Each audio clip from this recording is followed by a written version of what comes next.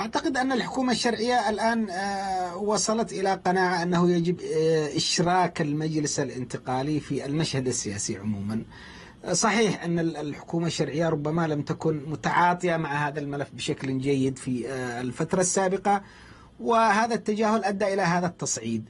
الآن وقد حدث ما حدث. على الحكومة الشرعية أن تفتح الحوار واسعا حول هذه المسألة وأن يكون هنالك شراكة حقيقية مع المجلس الانتقالي لكن وفقا لشروط الأداء الدستوري ووفقا لمقتضيات المرحلة ودور الحكومة الشرعية ووفقا لأولويات مهام الحكومة الشرعية بالتعامل التعاون مع التحالف في مواجهة ميليشيا الحوثي بدرجة أساسية. سيكون هنالك تنازلات لا شك وفاتحات شهية كما ذكرت لا شك في مسألة آه، إشراك المجلس الانتقالي في السلطة في آه، مناصب ما في التفاوضات السياسية في فتح على الأقل ملف القضية الجنوبية بشكل كامل وبشكل حقيقي وشفاف للتدارس وللحوار وليكن خيارا شعبيا فيما بعد ذلك.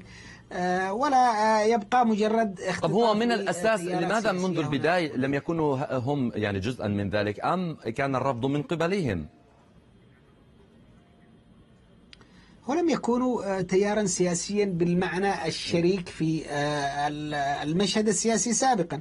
وبالتالي لم يكن وجودهم وجودا قانونيا بالمطلق. أيضا هنالك تيارات جنوبية أخرى ممثلة في الحكومة الشرعية ممثلة في الحوارات في الحوار الوطني سابقا. وحدث نقاش طويل حول القضية الجنوبية ووضعت كثير من المخرجات فيما يخص القضية الجنوبية منها أن تكون هنالك أقاليم ومنها أن يكون هنالك سلطات ذاتية. أقصد أن المشكلة كانت في طور النقاش وفي طور وضع الأطر للحلول.